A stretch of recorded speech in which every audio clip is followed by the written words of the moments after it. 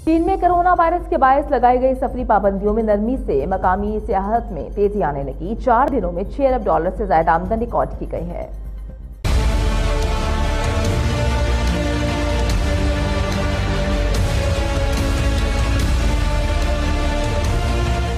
चीनी शहर वुहान से फैलने वाले मोहलिक कोरोना वायरस से दुनिया भर में हज़ारों अफराद लुकमा अजल बन चुके हैं, जबकि लाखों अफराद वायरस से मुतासर हैं।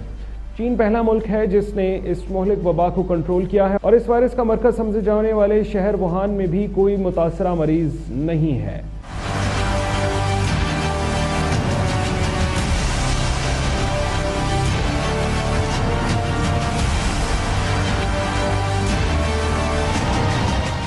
चीन ने कोरोना पर काबू पाने के बाद सफरी पाबंदियों में नरमी की है जिससे मकामी सयाहत ने ज़ोर पकड़ लिया है और चार दिन में छः अरब डॉलर से जायद आमदनी हासिल कर ली है।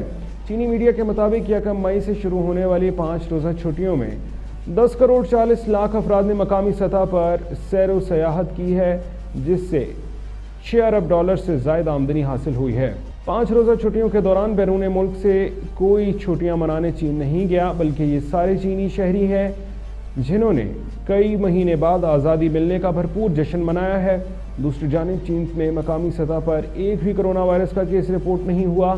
चीन में करोना वायरस से छियालीस सौ तैंतीस अफराद हलाक जबकि बयासी हज़ार से ज़्यादा अफराद मुतासर हुए हैं।